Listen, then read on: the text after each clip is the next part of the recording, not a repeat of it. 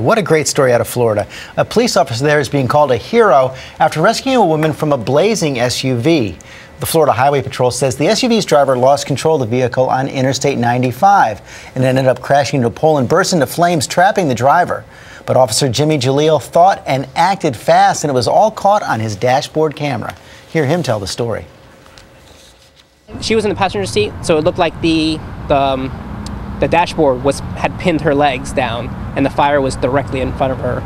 Um, so I knew if I hadn't had not smashed out the window or shot out the window, she was going to burn. Um, I thought I, I was going to see someone burn to death. I honest, that's actually crossed my mind. I figured I knew what to do. I took out my baton. I've, I've done it before.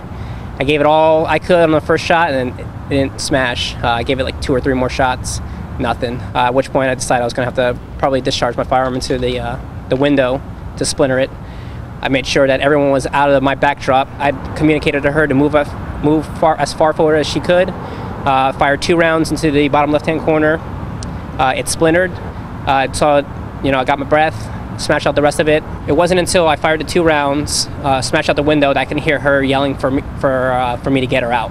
When I picked her up and laid her down, I noticed I could tell her legs were broken. It didn't appear that she got burned at all. I don't know how she didn't. She was maybe a foot away from the fire. It was, it was pretty amazing. This was 100% a team effort.